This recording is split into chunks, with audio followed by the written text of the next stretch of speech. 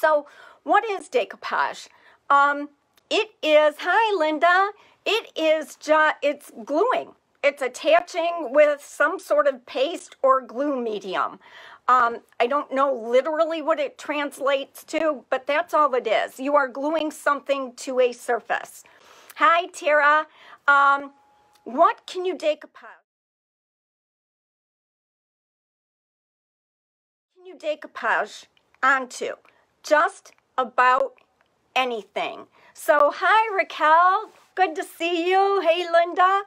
So you can take decoupage with with um, onto just about anything: metal, um, painted surfaces, wood surfaces, glass. Um, my my thing would be if you're not sure, you know, just test a little piece. You can decoupage on laminate, a little bit trickier. So, um, ideally, you want your um, paper to be able to attach with some tooth to it. So the smoother the surface, um, the more likely it is that it could peel. Having said that, I have never had that happen, but I also have never decoupaged laminate. But I have to glass. Could you probably stick something under there and peel it off? Probably, but who's going to? Um, so it really is a wonderful method. I have, hi everybody, thank you for being here. I have a lot of tutorials on my YouTube channel, on my Facebook page, but we're just going to start from the very beginning. So, um, mediums. What do you use as your glue? So, is Mod Podge. And I'll be honest with you, Mod Podge is what I started with, but it is the very last thing I grab. I only use Mod Podge to decoupage one thing, and I'm going to show you what that is in a minute. So here's why. Um, and there are there are solutions to this, right? Hi, Joy, Smoky. Oh, I'm sorry. That's so awful. So many people are dealing with so much. Um, so it's thick. I'm I'm 99.9% sure Mod Podge is Elmer's glue and water, or craft glue or school glue and water. But it's thick, and that thickness works against you in a, in a lot of cases. I use it when I really want a good, strong bond of something. My material has to be thick. So I use it with canvas, which I'm going to show you. And Mary, um, this is this is prepping for the project we're going to do when you're here.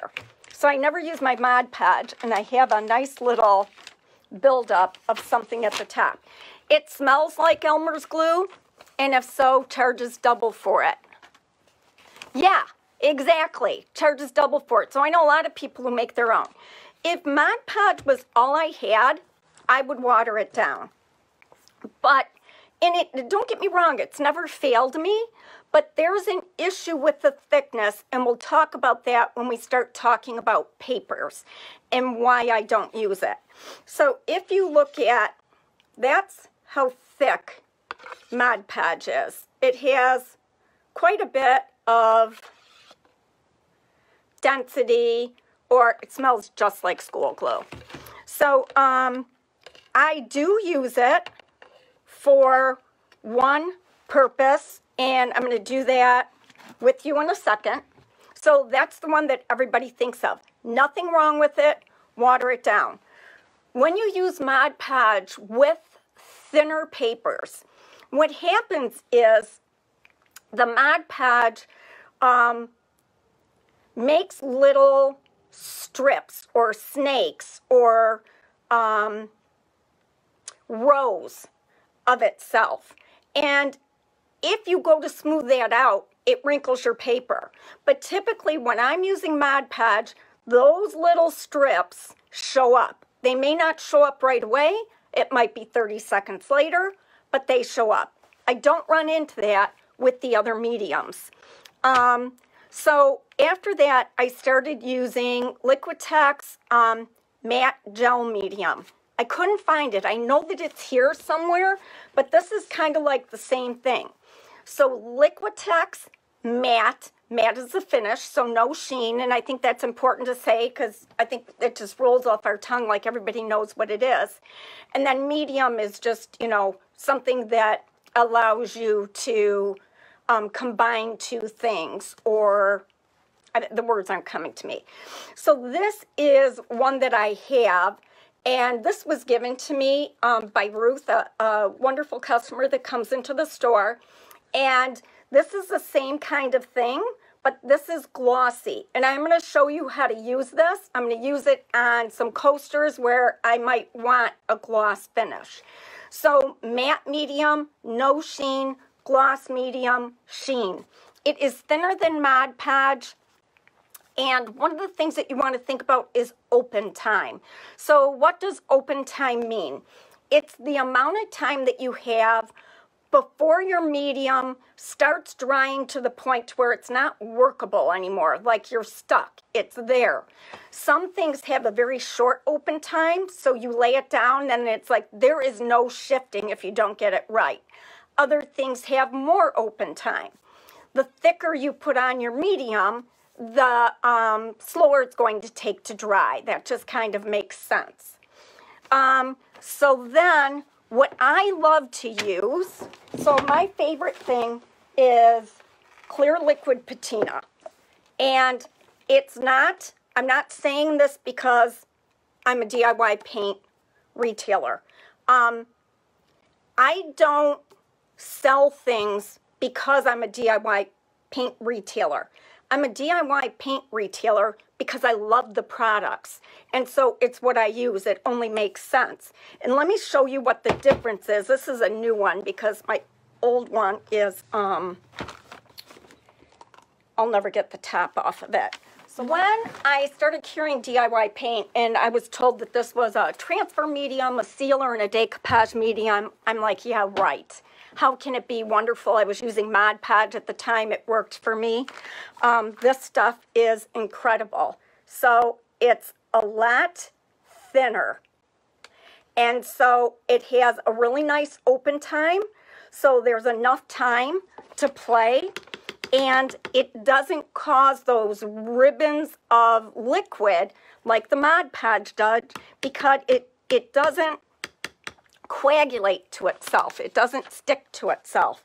So that's why I love using it. And I use it almost exclusively for everything. There are um, many, many other decoupage mediums made by other lines. That's great. And just find what works for you. And it would be nice to find a product that works no matter what you want to decoupage, what kind of paper. And clear liquid patina so far has been that. Um, there are two decoupage methods I am not going to talk about. Thank you for the hearts and the thumbs up. That is the iron-on method and the saran wrap method.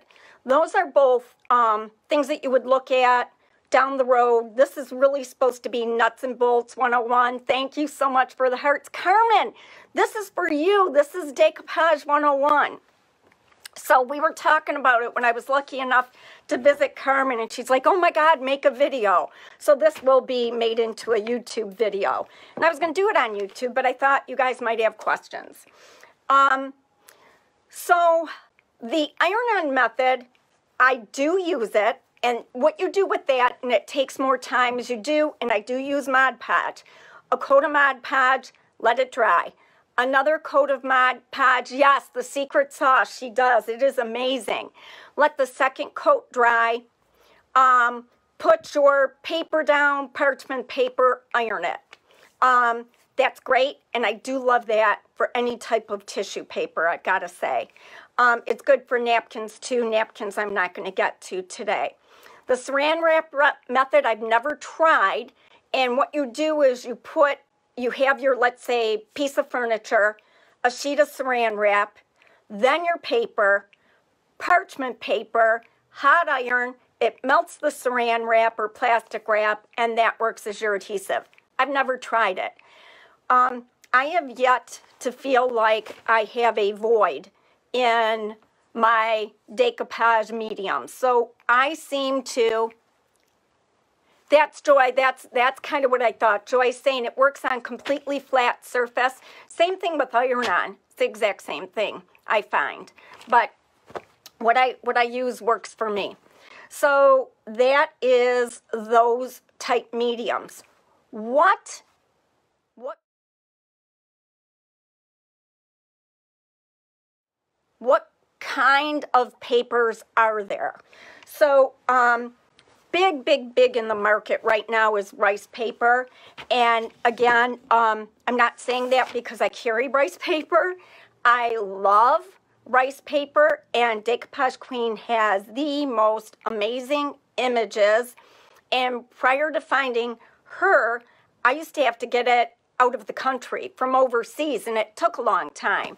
Teresa, me too. Thank you. Thank you. Thank you. So, um, I I love rice paper, and it really is. If you're a total beginner and you're afraid to decoupage, it is almost foolproof. The rice papers. So I am going to show you a quick little thing with that. Uh-huh. So hopefully you can see it is so forgiving. It's fibery. So if you can see the fibers in there, and I'm just going to tear it a little bit, it's those fibers that make it so forgiving. It doesn't bubble, it doesn't wrinkle. Um, I love rice paper. So that's one of the things. But um, this is just regular paper from a printer. And I can decoupage this. But when I get to papers, and now I'm gonna, oh, thank you, Suzanne. I'm gonna change my angle so you guys can see what I'm doing.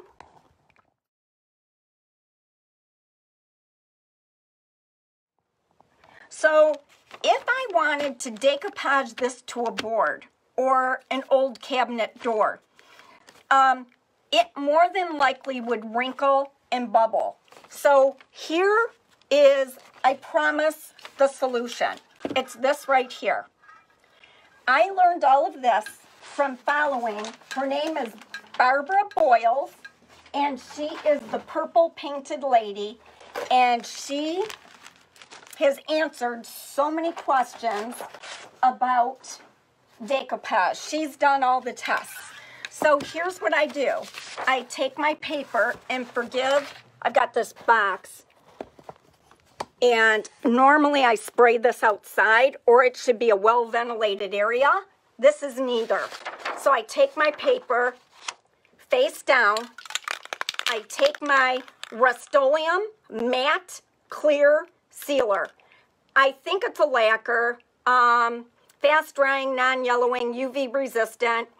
What this does, it's not water-based. So what this does is imagine putting a sheet of plastic, um, almost like laminating, the back of your paper.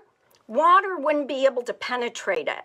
That's what causes the wrinkles and bubbles. It's the water in your medium. So you want to keep the water away. So what I'll do is I'll take and spray the back with a decent coat of, I must really love you guys that I'm doing this indoors. I always do this in my foyer. So I will let this dry. Once it's dry, you can feel a texture on the back. So I will let this dry. Sometimes it does intensify your image. So that that is, that's only, I've only found that on this paper when I paint, um, print a photo or something. Well, I also have Monahan papers. Monahan papers, um, this is a Monahan paper. They're 27 pound. They're a little heavier than printer paper. Um, I like to use this on the background of a lot of things. I'm getting ready to use this on the background of one of my projects. So I've already sprayed the back of this paper.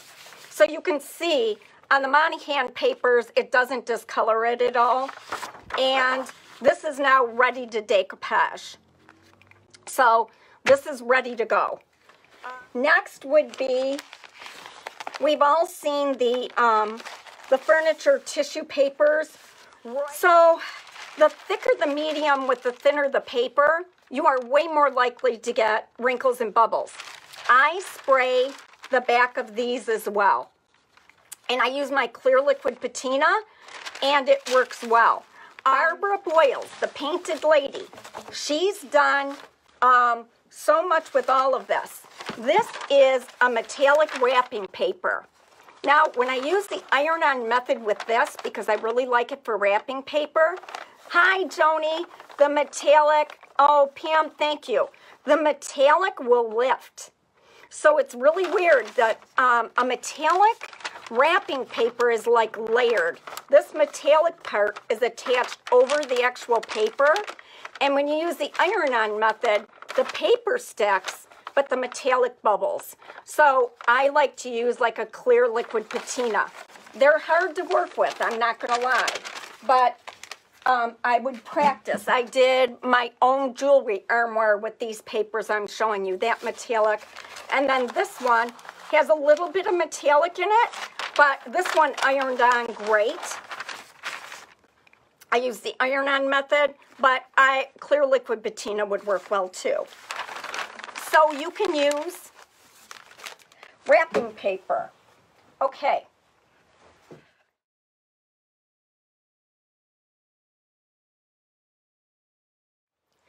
So after it's done and it's gorgeous, and I'm going to show you this, um, and you put a water-based sealer on it, that water will activate the medium underneath your paper.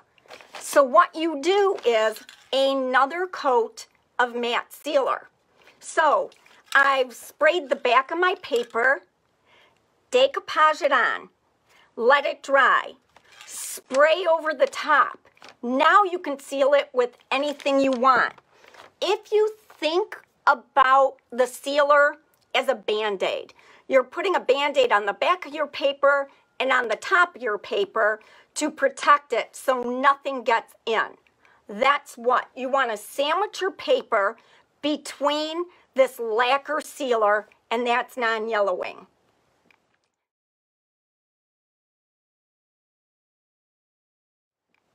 This is the only time I use Mod Podge. This is primed canvas. It's um, really heavy and I like to put it over wood for various wall projects, wall art. This is when I'll use Mod Podge because this is heavy. And if I just use clear liquid patina, it may not have enough meat to it or gel medium. I need something that has some real tooth. So I will use, so this is primed duck canvas, and I'm not going to go through this project. I do have a tutorial on this. Um, so I'm just going to get, and this is raw wood. I almost always paint my wood. This would be the first time in like forever that I haven't painted my wood. But I ran out of prep time. So I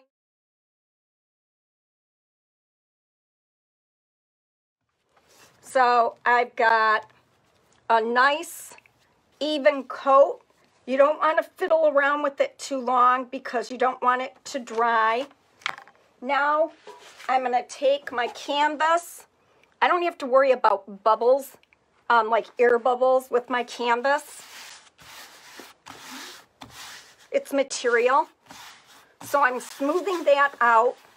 And then I'm going to take Carmen gave me these when I went to visit her. This is just, you know, a plastic gift card from Qdoba. So I'm going to smooth it out. I don't have to be gentle. This canvas, nothing's going to happen to it. Um, but this just makes such a nice background, and it's primed.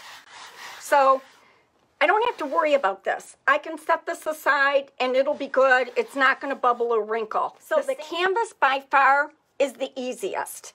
Now, rice paper's next. And if you um, are just joining me, the reason that I picked this rice paper is I messed up somebody's order and actually cut into about 10 rice papers. So they became my project pieces. These are some tile coasters. When So I'm just going to put a thin coat of clear liquid patina. I did paint this first in a brighter white called beadboard. So I'm just going to set that there. And then this is how simple it is. I think I want to move her up a little bit, but see how I was able to move that? That's like, that's like important. Now I'm thinking, okay, I want this, the moon on there. So that's where, that's where I want it. And I can actually feel some moisture coming through the top because this is kind of, you know, like a, like a fabric. I'm going to gently smooth it out with this card. But that's how easy it is to work with. And I'm going to let that dry. I have some clear liquid patina on my brush. I'm going to go over the top. Normally, I wouldn't do this because any other paper, it would wrinkle and bubble. But rice paper, I don't have to worry about that. So I'm going to let it dry and then I will sand it.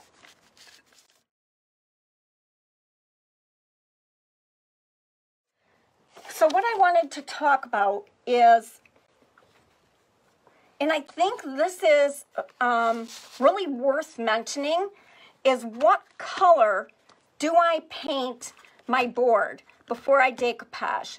And I showed you the one board, I went right over the wood with the canvas, and I don't ever do that. So this is a purple and blue paper, so maybe I want to paint this blue, you know, or purple. Here's why I'm going to tell you, you always, always, always want to use white. Unless if you're using an all black paper, maybe you want to use black.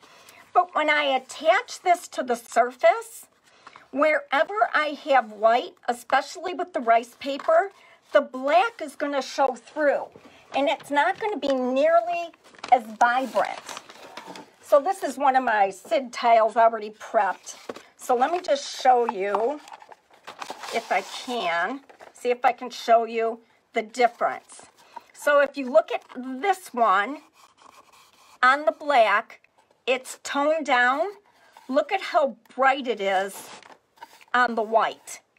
So even though your background is colored, if you have white, again, when I flip it, this is not nearly as bright. Let's do it. Here, let's try if I can hold this.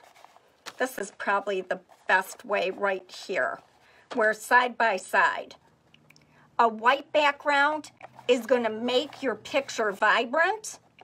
Any other color, that color is going to show through. And I'm not saying that there aren't times that you want one want to do another color. But with the rice paper, if there's any white in it, I paint a white background. And you can see just how bright that is.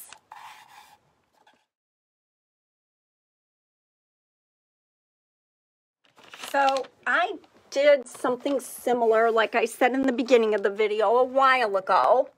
And I wouldn't be able to find the video if I wanted to.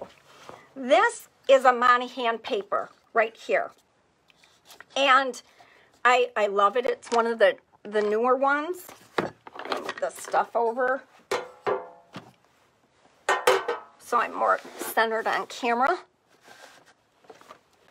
And so what I'll do is, this is a board that, again, I got it from Darice when Darice was still in business. I so miss them. Michael's bought them out to get rid of the competition. Learn that the hard way. Yes, Joy. Um, she said, learn that the hard way, but put paper on the front of drawers painted blue and you can hardly see the design at all. And nobody talks about that, right? Nobody talks about that. So you can build your own tray using um, one by lumber. And then let me show you the back of it. So look at that. It's just it's just three strips. So it's three boards and then these are glued and nailed. We can build these, you guys. Nice, sanded. So here's what I want to think about when I'm doing this. Um, what color do I want to paint my board? Because my board is bigger than my paper. So I've got to do something with that edge. I always use the Bohemia stamp. And so um, I know that I want it to be something that's going to blend in with my paper. Sandy Blonde, nine times out of 10, is the best color for a background. Um, in this case, I think I could argue crinoline, but I'm going to use Sandy Blonde because I may want to use crinoline for my accents. One of the things that would really, really bother me is this white border. So if I cut it, I get a nice clean edge that isn't necessarily going to want to blend in as much as if I tear it. So let me show you how I do that. Um, actually, let's get this board painted first. So this is a decoupage project, start to finish. So this is Sandy Blonde, and I'm just going to paint the entire board.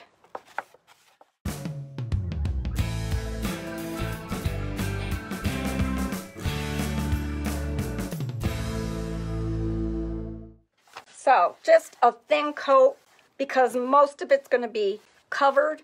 Um, you also want to paint your sides. So I know you probably can't see this, but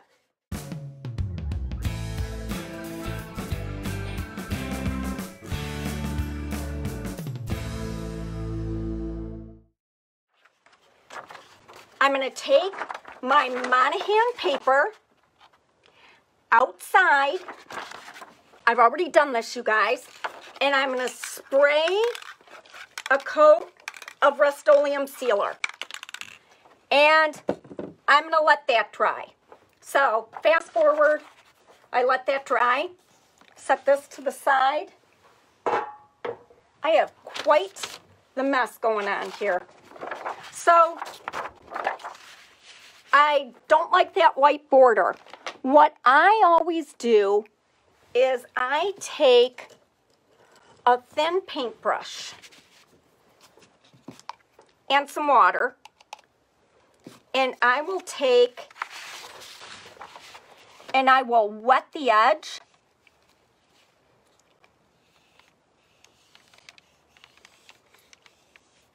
And I probably could have done this ahead of time. And then I take a straight edge.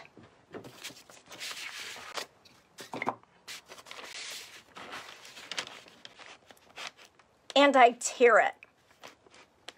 That gives me a more visually appealing edge. Sometimes these tear really easy, sometimes not so much. I could take my razor blade and help it along.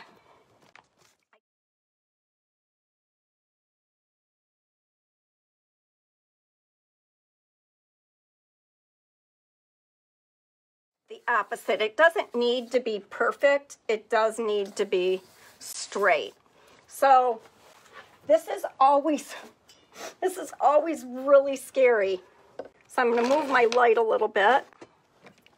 Line up my T. And you have to make sure you don't shift. So I'm going to use my wallpaper tool. You want your blade long.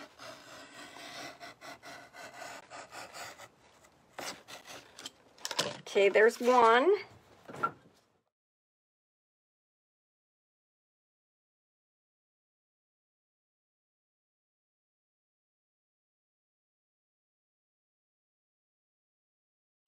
So this is going to be a little bit longer than here, but you'll see what I do as I tuck it in. So, and I'm going to start with this piece right here. You gotta remember though, this is my top, this is my bottom. I'm gonna use clear liquid patina and this is sprayed. So here's my clear liquid patina and I have no clue what's on what brush, so I'm gonna have to. So I put it right on my board.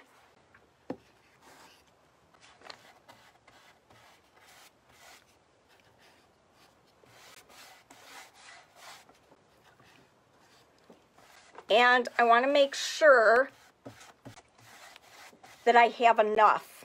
If anything, I would rather have a little too much than not enough. It's no big deal if I get it on the other boards.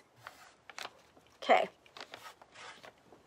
Now I'm going to get this centered-ish.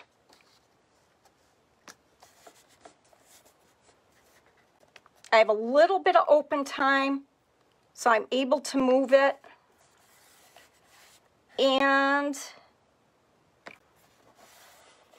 that's pretty good. Now I'm going to take the credit card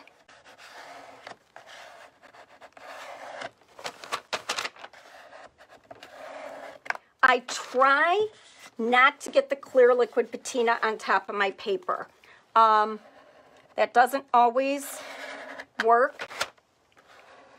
So I'm going from the center up and down and I don't really have bubbles and wrinkles right now. And if I didn't spray, I would. And then I just go and I tuck that edge in. And that gives it a real nice finished look. And I'm running my, my plastic card and pushing against the board is what I'm doing. Any excess clear liquid patina is helping the stick. That right there is um, sandy blonde because I didn't wait for this to be completely dry and I meant to dry it and I got sidetracked. So it's been probably 45 seconds maybe since I smoothed this over. That's a really good time to check and see if anything surfaced. And when I tell you this is as smooth as, what comes to mind is a baby's butt, which is not an expression that I ever say, but that's how smooth it is. So I'm just running that to get that paper flush against the side of that middle board. There we go. I just have to get this one.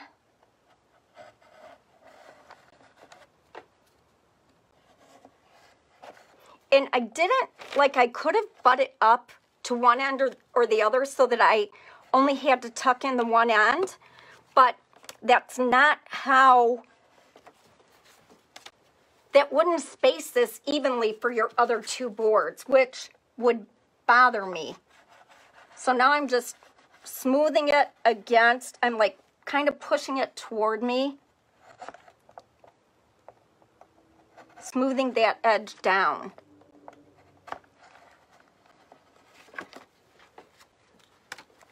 And I'm going to look to see Oh, here's something, I don't think this is a bubble. I think it's something that was in my paint. I have a little thing sticking up right there. So now I'm gonna go, that looks really good. And normally I would have like one of those blue shop cloths, which I don't have handy here. I'm gonna grab one.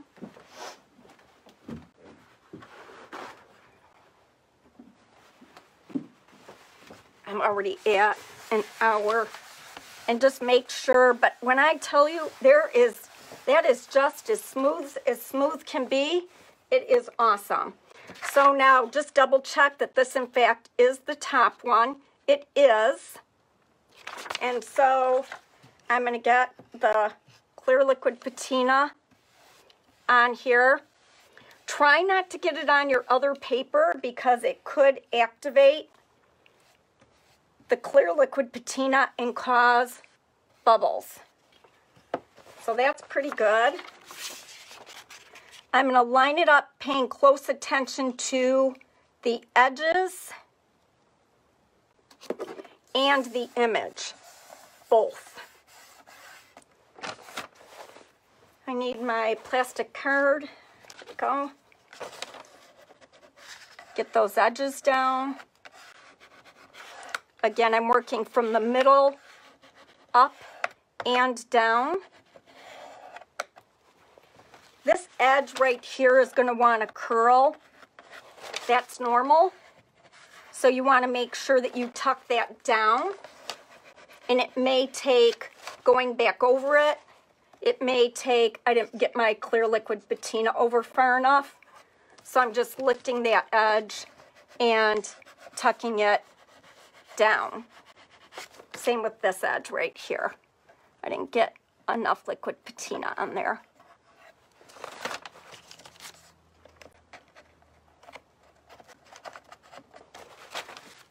Want to smooth this edge down.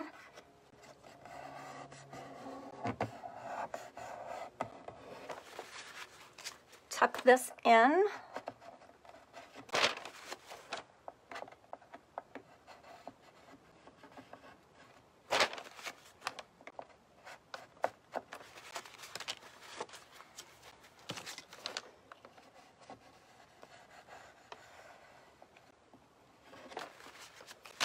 And it looks pretty amazing. No bubbles, no wrinkles. And that was one coat of the matte sealer.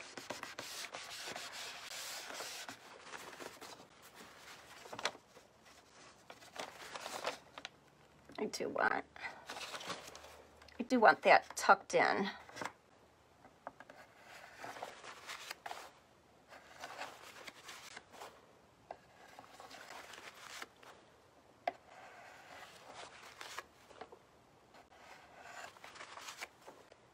So I'm just pushing, using that card to push it against the side. And then I just have the bottom one to go. Thank you, Carmen. Carmen, do you have this um this one design from Monahan? I think it's a newer one, but I'm not positive. Oops. And I don't want it there only because I don't want it to cause bubbles. Right now, if I were to go over this whole thing with any water-based sealer, and clear liquid patina is one, it um, could cause bubbles. So now I'm going to line this one up along that edge.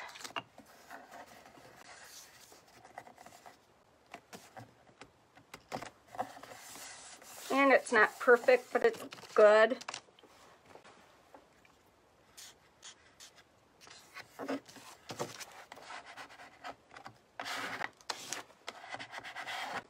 Doing the same thing, the middle up and the middle down.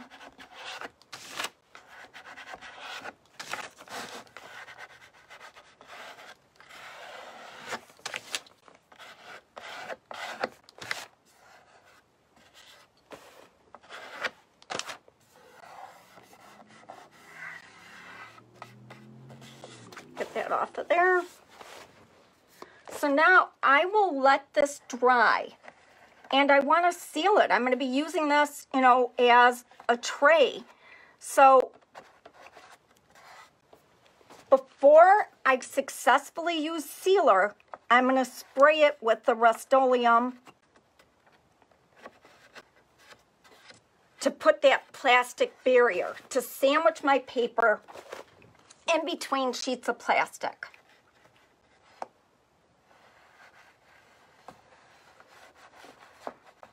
Smoothing that, both sides of that out.